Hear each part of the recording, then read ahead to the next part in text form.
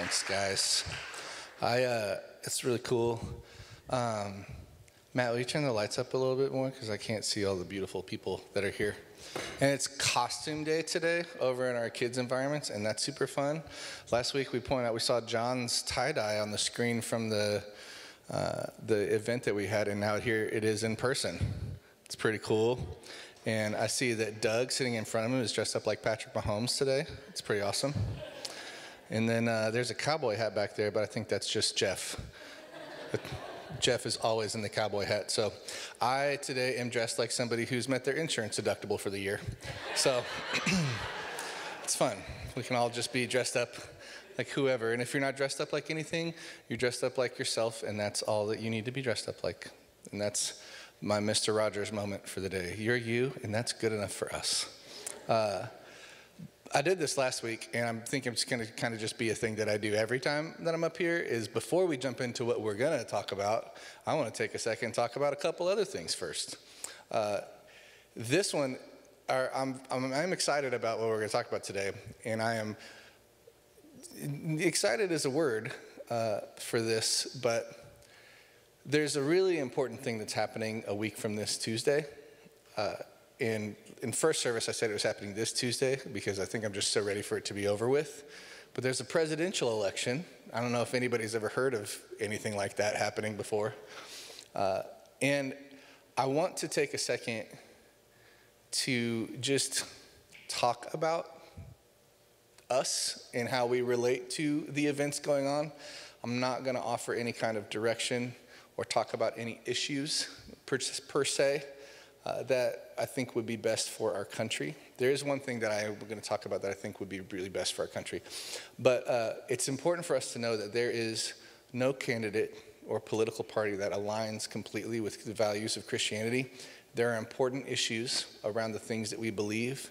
But the thing that we believe that supersedes all of this is that our allegiance to the kingdom of heaven and to our King Jesus far surpasses our allegiance to any earthly nation or its human representative.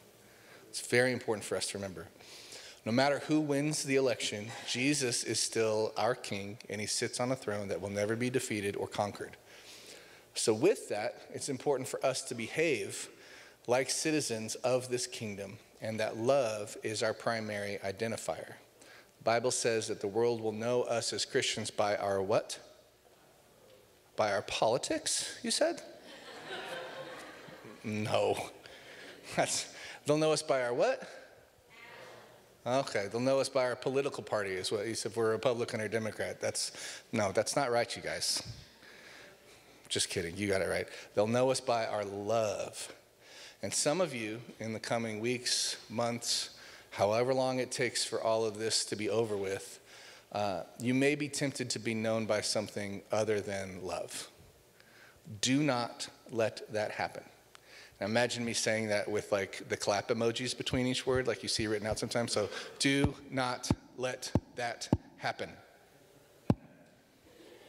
Okay? Do not ruin relationships with people over this election. People are eternal. Our nation isn't. Your citizenship within our country ends the minute that you take your last breath. But your citizenship within our kingdom is eternal. Relationships with people are eternal. Do not prioritize earthly politics over eternal people. None of the, these candidates or any of the candidates that we will ever vote for will probably be at your funeral. But there are people that are in your life right now that, depending on how well you love them, may or may not be. And to go even a step further than that, there are people in your life that, depending on how well you love them in seasons like this, may or may not be with us in heaven. So it's important. Go vote as citizens of our country, which is a great country. I'm so thankful to be a part of and be born in this country. It is our civic duty and responsibility to vote and participate in these things. But be kind, be loving. The thing that I was I referenced that would actually be the best thing for our world is if Christians in our country and around the world actually loved people the way that Jesus loves people. That could be the most transformative thing that could ever change uh, the, the history of humankind is if we love the way Jesus did, we love sacrificially.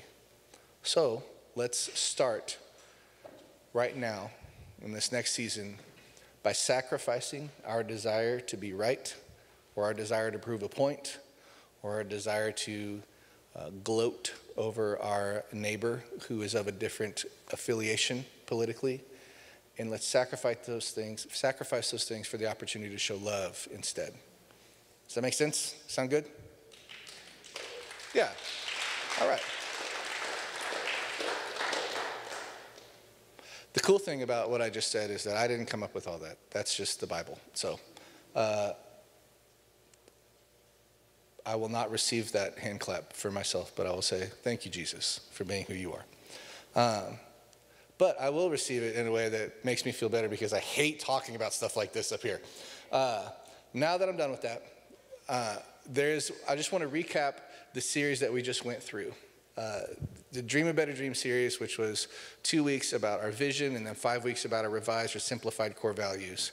We broke down, these are the things that are the most important to us. I would just want to highlight them one more time for you and then hang out on the last one that I talked about last week. Uh, but our core values, coming into the future. You know, I don't. I was going to attach an amount of time to it, but for the foreseeable future, these are what we're all about. The first one being Jesus, that understanding that Jesus is our King and that Jesus is a friend, uh, and then uh, discipleship with uh, focusing on becoming disciples of Jesus and making disciples of Jesus. And then our last one is being movement focused or being focused on participating in the gospel movement that's happening all around the world. And uh, rather than, this is what I talked about last week, rather than being focused on building a gathering, it's more important for us that we add to the attendance of heaven than we add to our Sunday morning attendance here at Four Corners. So if you weren't here last week, I really want to encourage you to check out that message on the website. Not because I did such a good job, I probably didn't. I felt, you know, I don't ever know. But, and that's not me fishing for compliments either. Don't come to me like, we really love what you've been doing. Like, don't do that. Uh, it'll make me feel weird and make me feel like I guilted you into kindness, which, anyway, now this is awkward. Check out our website. So, just so you can find out what this movement is about that we are called to be a part of here at Four Corners. Uh, and there's a QR code that we threw up at the end of the message last week. We're going to throw it up again. Um, if you feel like the Lord has been stirring things within your heart, uh, maybe calling you to step out beyond just regular Sunday attendance and participate in this gospel movement that's happening around, uh, you can scan that QR code and fill it out. And all that does is just gives us information that you are one of those people that God's been stirring something inside of. Uh, maybe you didn't get a chance to do it last week. Maybe you didn't do it last week, and this week thought that you maybe should have. Here's your chance to do it again.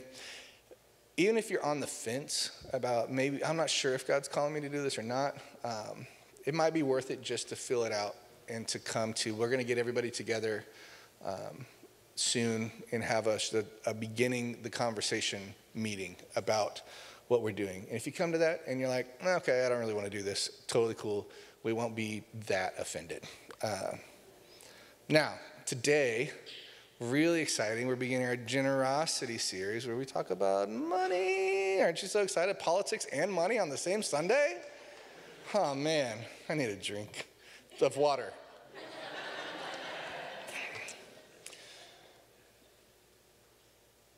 I didn't even realize as I was saying I need a drink how that sounded until I until I said it. it was, it's not that big, not that deep, but it is though. So here. Uh, we're beginning this series, and I want to do two things today. I want to talk really transparently about our finances right now. I want to talk about the kingdom offering that's coming up in the next two weeks.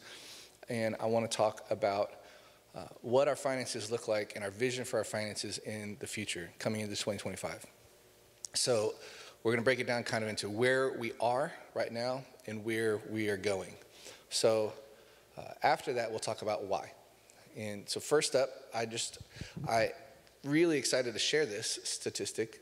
uh, we have, as a church, given away $60,000 this year to organizations that are part of our community to advance kingdom work throughout our city. And that's a really big deal, you guys. $60,000 is a lot of money.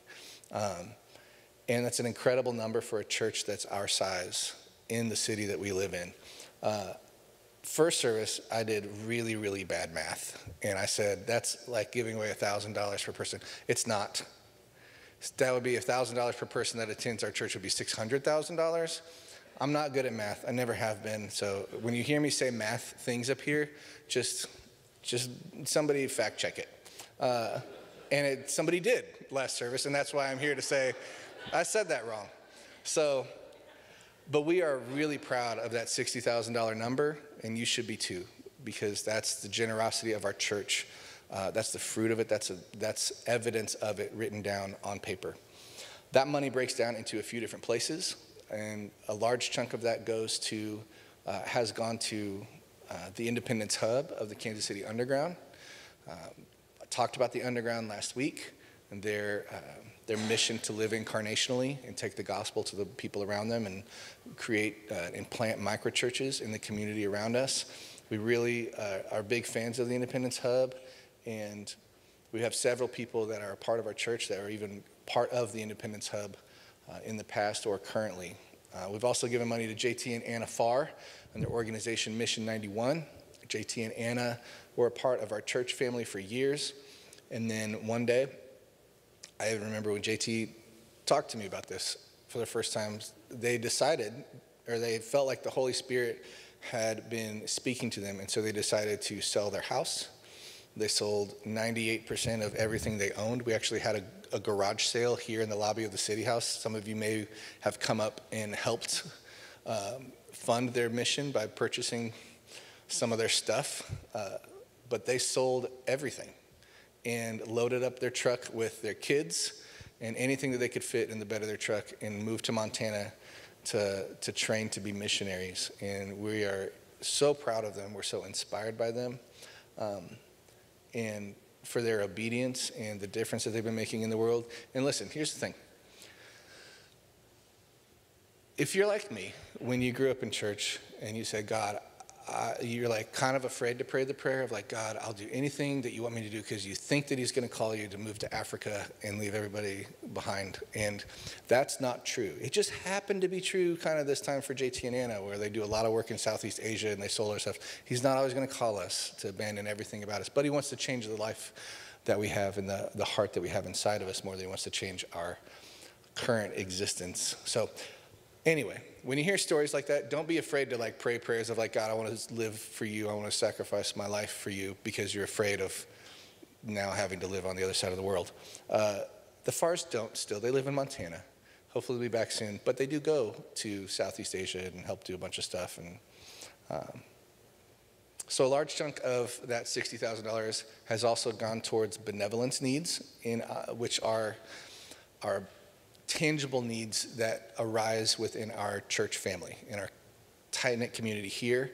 Benevolence are so when we share wins on a Sunday of we helped somebody meet, uh, pay their electric bill, or we helped a, a mom get formula or diapers, or we helped whatever tangible needs that come up in our church family, we give benevolence money towards that. So this year we've given away almost $6,000 in benevolence, which is great.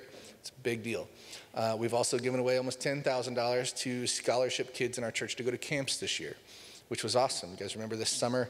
Um, we had what felt like never ending fundraisers in the lobby where you could buy $20 donuts and maybe the best cookies that have ever existed. Uh, but that money went and made a big difference in helping our kids go to camps where they met Jesus. Some for the first time, they had their lives transformed, and we got to hear a lot of testimonies and cool stories about that. Um, and then there's other nonprofit organizations that we've been able to help this year. Uh, there's other church plants we've been able to help this year, like the guys that all came through Summer Vibes. Uh, Mike Orta and his wife Tiffany at City House Church in Milwaukee. Justin and Sam Roberts, part of Neighbors Church, and Thomas and Jen Miller, part of Growth KC. All church plants that we've been able to help this year um, in little ways.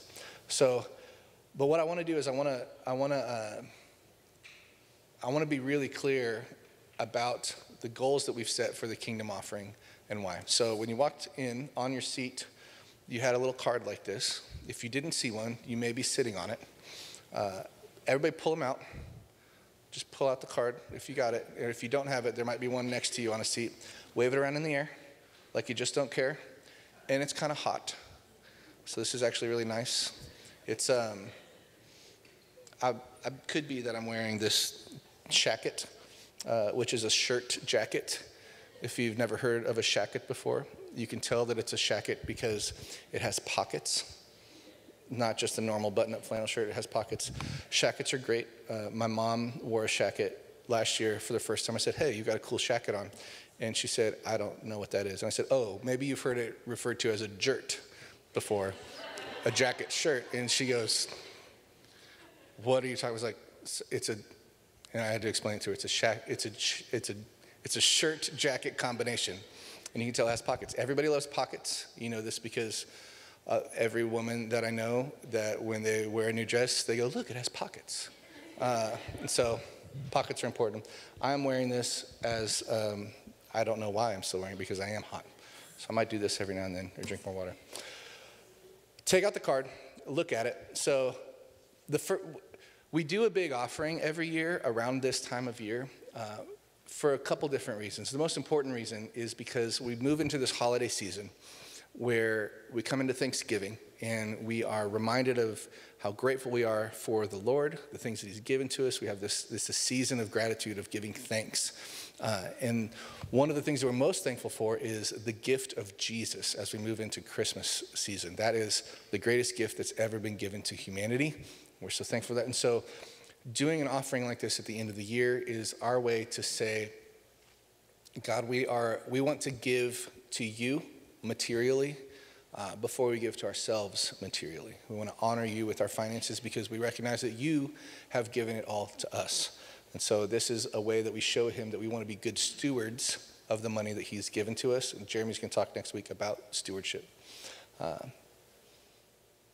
now, the way that, uh, that we've done this for the last few years and given away money is through an, uh, well, it's not an organization, it's our thing. It's an initiative called Kingdom Builders. Some of you guys may remember we had little books that we passed out at the beginning of the year or the end of last year. Uh, and inside of it, it had a bunch of different organizations with dollar amounts that we would love uh, to meet and organizations we want to partner with. Um, and, and, com- and within that, some of, the, some of those organizations are organizations that we made commitments to at the beginning of the year. So uh, we began paying out some of those commitments before we had actually brought all the money in. So we've given away $60,000, but currently we've only brought in about 45 through Kingdom Builders. So the first goal in the Kingdom offering is $15,000, and that's representative of the money that we are still wanting to bring in that we have paid out already. So those same commitments to all these organizations that we really believe in, those commitments last through the end of the year, and they will add up to about another $15,000. So that's goal number two, puts us to meet the commitments that we've already made. And, that, and listen, this is not like, um, we believe that this money is going to a good place. And when we make these commitments at the beginning of the year, we do it because we feel like that's what the Lord is leading us to do. So we trust Him. This is not a fear based thing. We're like, oh no, we haven't brought in enough money, what are we going to do? We're going to honor these commitments. We're going to give this out, and we would love to do that through this offering. But we have made the commitments to these organizations, and we're going to follow through because that's the integrous thing to do.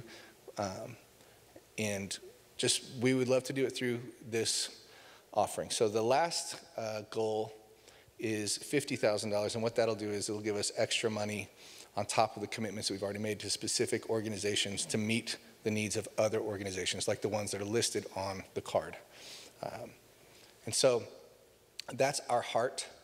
Um, now, that's, that's the status of where things are and kind of what's coming up in the next two weeks with the kingdom offering.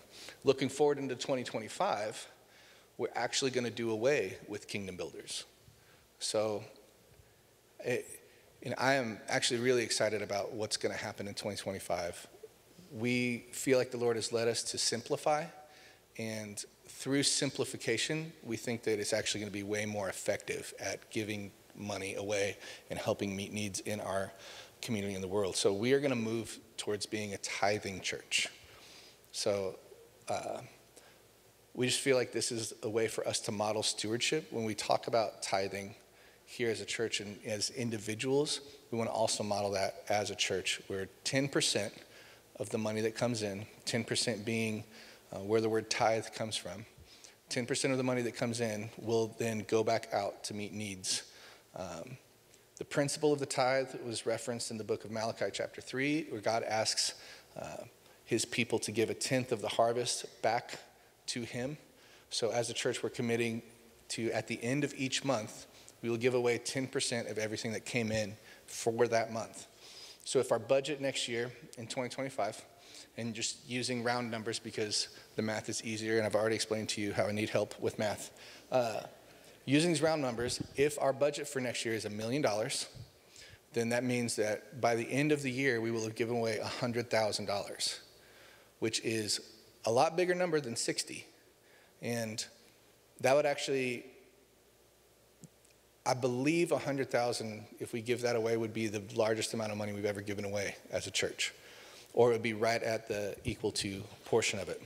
That 10%, uh, that $100,000, 10% of what comes in, we want it to break down into four places specifically. I want to talk through what these four places are. So, four, so you divide 10% into four different places. You have 2.5%. That breaks down the first 2.5% goes towards benevolence, so needs in our church family. So when any of you go through some sort of crisis or unexpected thing that happens and you need help, you can call us. And if we have the money, we will help. Um, there are some stipulations around that, um, but we, as a church, want to help take care of the needs of our people. Um, and so when you give money, it goes towards helping to take care of our church body and our church family. Um, another 2.5% will go towards local missions. And local missions is uh, what we're calling community partners. So some of these nonprofit organizations that are making a big difference in our city already, we want to help continue to partner with them and to fund them. Um, and to give each month to help them meet the needs that they have that come up so they can be more effective at expanding and doing kingdom work here in our city. Um, another 2.5% will go towards global missions. These are organizations that are taking the gospel around the world. Um, organizations like the Bridge in Haiti, we have been partnering with them for a long time. They do a lot of really important work in Haiti. Haiti is a crazy place. Um, it's a dangerous place, and they've been on the ground for a long time doing really good work. We love them. There's also um, New Thing Global, um, which is the global wing of the New Thing church planting movement. They might fit into the next category, or that one. We'll have to figure out what that, what that looks like. Uh, Mission 91, JT and Anna Farr would fall into the global missions.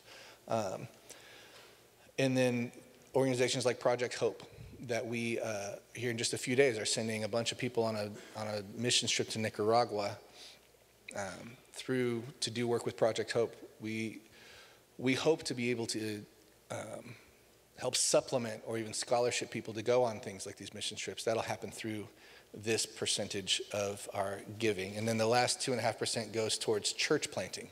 So we are, a, at one time, we were a church plant. We are pretty settled and we've got deep roots in our community now.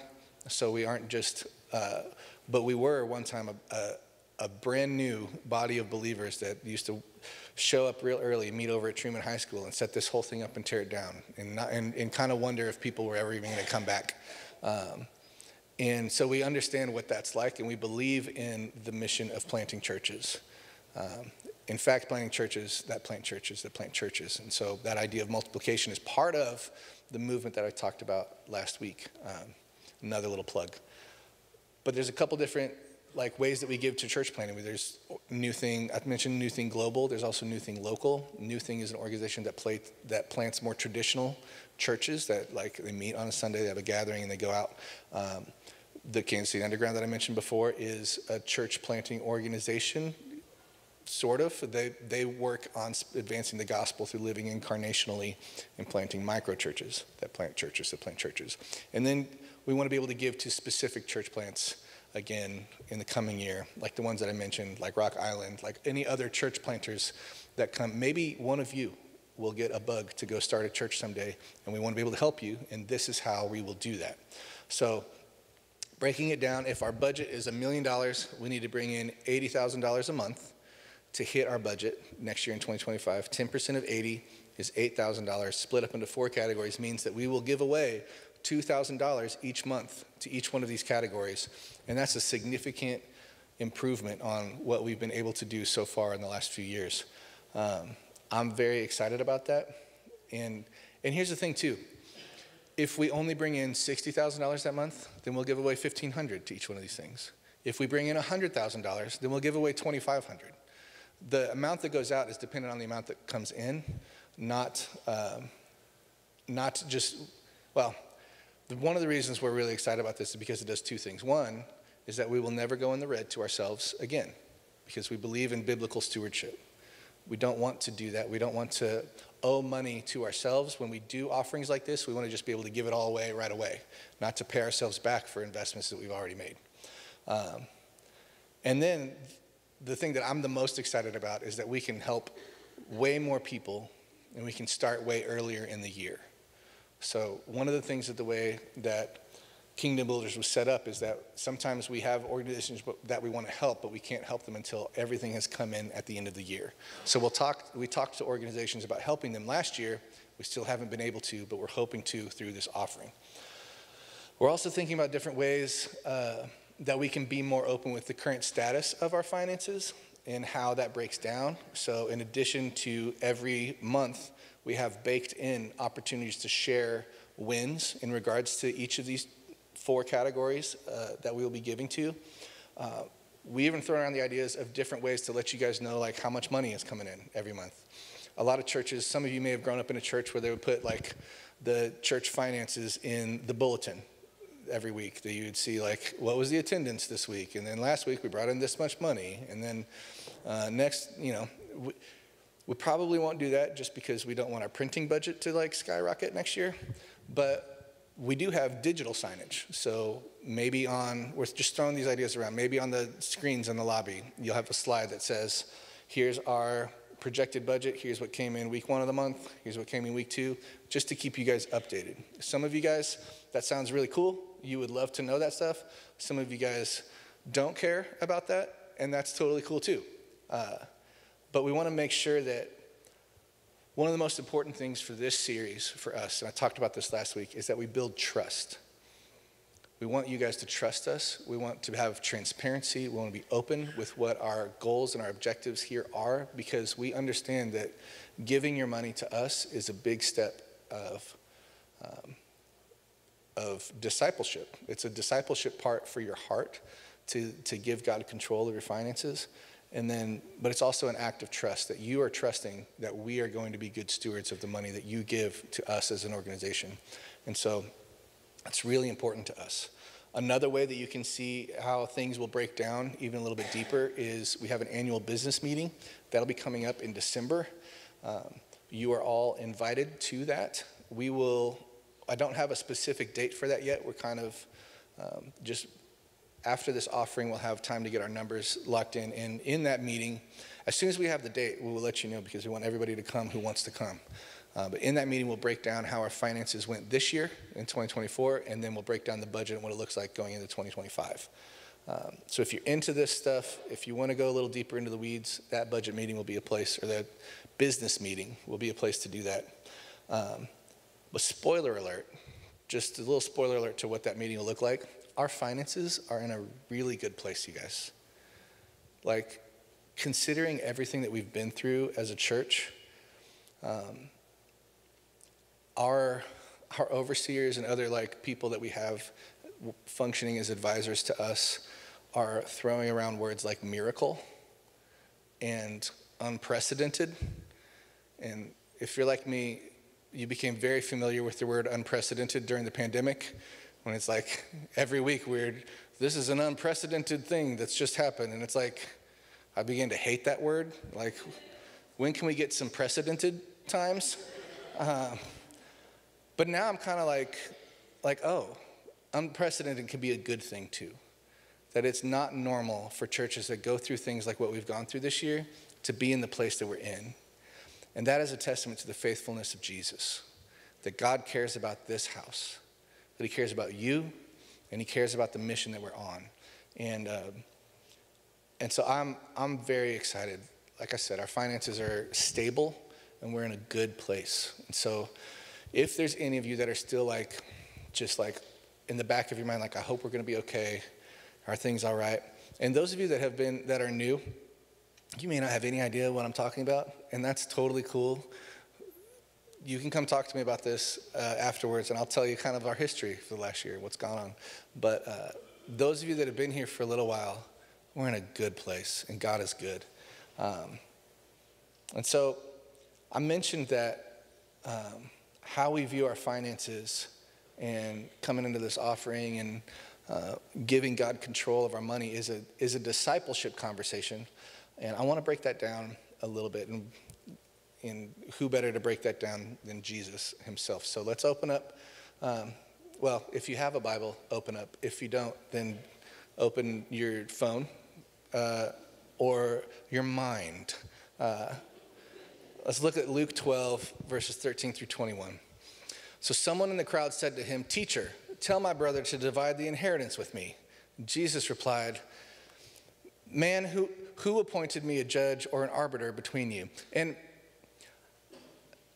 I, I love reading the Bible because like little things like jump out to me in really weird, quirky ways that my brain works. So like either Jesus doesn't know this guy's name, uh, or he talks kind of like me, where he's like, Jesus replied, Man, who appointed me to be a judge or an arbiter between you? I like to believe it's the last way. I don't know if there's like a lot of breakdown theologically that people that have studied that, but um, then he said to him, Watch out. That's also how Jesus speaks in my brain. Watch out. Be on your guard against all kinds of greed. Life does not consist in an abundance of possessions. And then he told them this parable The ground of a certain rich man yielded an abundant harvest. He thought to himself, What shall I do? I have no place to store my crops. And then, because there are so many, I've got so many crops, I have no place to do this. And he said, This is what I'll do I will tear down my barns and build bigger ones. And there I will store my surplus grain. And I'll say to myself, You have plenty of grain, laid up for many years. Take life easy, eat, drink, and be merry. But God said to him, You fool, this very night your life will be demanded from you. Then who will get what you've prepared for yourself? This is how it will be for, with whoever stores up things for themselves, but is not rich toward God. Are you living a life that is rich toward God or rich toward yourself? Have you told Jesus that you want him to be the king or the Lord of your life? Have you given him control over things like your marriage? Have you given him control over things like your kids? That's a pretty easy one for those of us that are parents because uh, once a week you're like, Jesus, I don't even know what to do with these kids. You better just take over because I'm about to lose my mind. So we give control of our kids often. You've given them control of your time because you're here. You get up early, you come to church, you give him control of these things, but not yet let him have full control because you haven't given him control of your finances, your money. Maybe you prayed prayers like, God, my whole life is yours. God, my heart is yours. God, everything I have is, almost everything that I have is yours, God. This is a prayer that I have prayed. I'm familiar with this because I'm human. I know this conversation well. I still struggle with this. And there's two main reasons why I think we all struggle to give God control of our finances. I don't think there's anything more difficult to give Him control over. One, because of our comfort, our desire for comfort. This parable of the rich fool that Jesus just gave is an example of this man's desire for comfort. He's, he's a rich man, a rich farmer. He's probably worked really hard to get to the place where he's at. He's probably worked really hard to have an abundance of harvest this year. And now he's looking forward to the fruits of his labor paying off, and he doesn't have to work so hard. He's looking forward to taking the next year off and just eating and drinking and being married. It sounds a little bit like looking forward towards retirement. And that's okay. But he's hoarding his wealth for the sake of his comfort.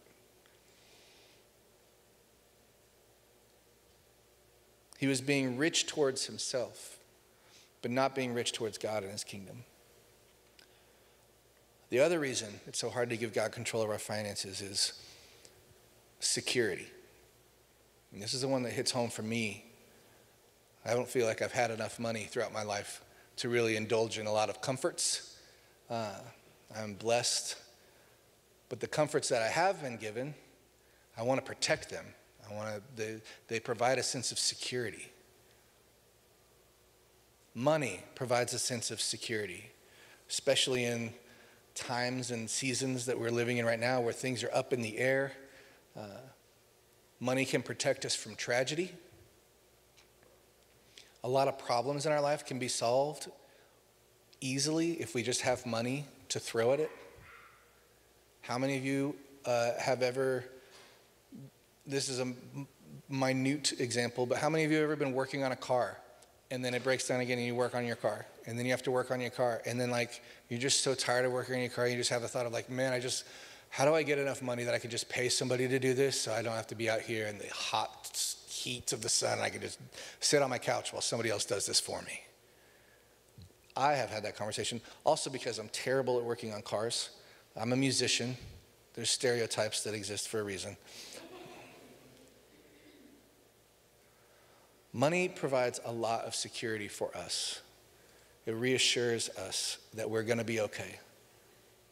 But if we're, if we're not giving God access to our finances because we need it to feel secure, to feel safe, then we're communicating two things to Him.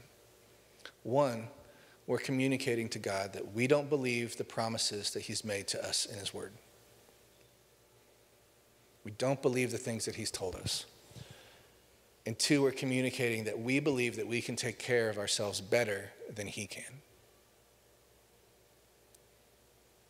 That we believe that we can do a better job at protecting ourselves, taking care of ourselves, than the one who created us. Jesus talks about this as we keep reading in verse 22.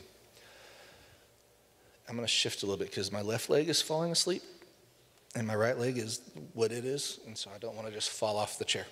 Uh, verse 22 Then Jesus said to his disciples, Therefore I tell you, do not worry about your life, what you will eat, or about your body, or what you will wear. For life is more than food, and the body more than clothes. Consider the ravens. They do not sow or reap, they have no storeroom or barn, yet God feeds them. And how much more valuable are you than birds? Who of you, by worrying, can add a single hour to your life? Since you cannot do this very little thing, it's funny how Jesus calls this a very little thing. You can't add an hour to your life, it's a very little thing to the God of the universe. But you can't do it. Why do you worry about the rest? Consider how the wildflowers grow. They do not labor or spin, yet I tell you, not even Solomon in all his splendor was dressed like one of these. If that is how God clothes the grass of the field, which is here today and tomorrow is thrown into the fire, how much more will he clothe you, you of little faith? And do not set your heart on what you will eat or drink. Do not worry about it, for the pagan world runs after all such things, and your Father knows that you need them. But seek his kingdom and these things will be given to you as well. So Jesus is saying when we seek first his kingdom, when we seek relationship with God, when we seek following after and participating and being citizens of his kingdom, that he meets all of our needs. He takes care of us. And then he says, Do not be afraid, little flock, for your Father has been pleased to give you the kingdom. Sell your possessions and give to the poor. Provide purses for yourself that will not wear out a treasure in heaven that will not fail, where no thief comes near and no moth destroys. For where your treasure is, there your heart will be also. So we're going to wrap up today with communion. Ushers, you can go ahead and begin to pass the elements whenever you're ready. We're going to take a second to remember what Jesus has done for us. That's why we take communion. Jesus said, whenever you gather, do this, partake of communion in remembrance of me. We remember his body that was broken for us, remember his blood that was poured out for us. And in this act of worship, in this moment, as we remember what he's done, the promises that he's made to us, we want to invite you to ask the Holy Spirit to investigate your heart. Ask the Holy Spirit to reveal your heart's true condition to you, specifically how it relates to these two questions Where is your treasure? Have you been rich towards yourself or rich toward God? As He reveals these things to you, ask Him to give you the courage and strength that you need to make the changes that He's going to ask you to make. Let's pray. Jesus, we're so thankful for you. We're so thankful for the life that you've given us. We're so thankful for the hope that you've given us. We're so thankful for the freedom that you've given us.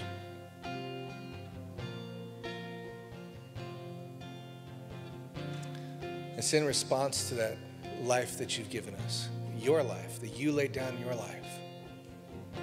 We give our lives to you in return. We give you the parts of our life that are easy to give. We want to give you the parts of our life that are harder to give. Lord, it's scary to give you control of things sometimes. So I pray that you would give us peace.